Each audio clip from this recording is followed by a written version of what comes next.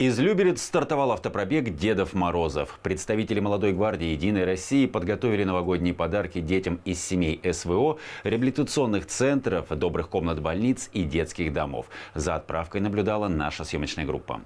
Общий сбор в Центральном парке Люберец. Перед отправкой для поднятия настроения танцевальный флешмоб. 30 муниципалитетов принимают участие в благотворительной акции, чтобы лично вручить сладкие подарки детям. Мы ежегодно поддерживаем благотворительные акции в канун Нового года. Это и елка желаний, и чудо-елочка, и разного формата а, другие федеральные и региональные мероприятия. Создали сами а, свой автопробег Дедов Морозов, потому что всегда есть детки, которым не хватает внимания. Хочется в этот прекрасный праздник согреть теплом каждого и, собственно, подарить подарить частичку Нового года.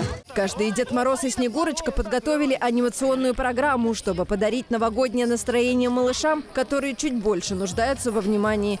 Сегодня направляемся в свой городской округ для того, чтобы порадовать э, детишек э, из больниц и семей мобилизованных с подарочками к Новому году, поднять, так сказать, новогоднее настроение, принести сказку в каждую семью и в душу каждого ребенка.